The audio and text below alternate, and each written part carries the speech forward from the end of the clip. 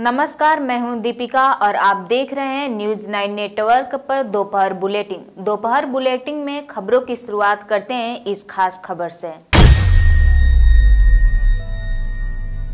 का सितम जारी है और लगातार गिरते तापमान से आम जनता काफ़ी परेशान है। घने कोहरे के कारण गाड़ियों का आना जाना रोड पर ठप है। पिछले तीन दिनों से सूरज भी दिखाई नहीं पड़ रहा है, बच्चे एवं बुज़ुर्ग घरों में कैद है, अभी तक चौक चौराहों पर नगर पालिका के तरफ़ से अलाव की व्यवस्था नहीं है। इसी क्रम में डालमिया नगर खेल मैदान में निशुल्क आश्रय स्थल का सरकार की तरफ़ से व्यवस्था किया गया है, लेकिन शौचालय की और न ही इसकी सफ़ाई की व्यवस्था है। यात्रियों को ठहरने के लिए रात में कंबल की व्यवस्था है, लेकिन वह कंबल जिस तरह की ठंड पड़ रहा है, लेकिन पर्याप्त व्यवस्था नहीं है। इस ठंड से बचने के लिए चाय दुकानों पर नाम पड़ेगा आपका?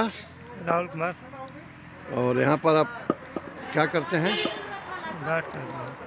गार्ड में हैं। कितने बेड का यह कैंप बना हुआ है? बीस का। यहाँ कितने लोग आते हैं प्रतिदिन?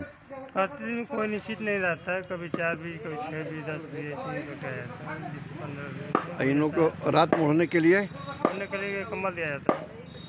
आप नगर नगर पालिका तरफ़ से हैं? हाँ। तीन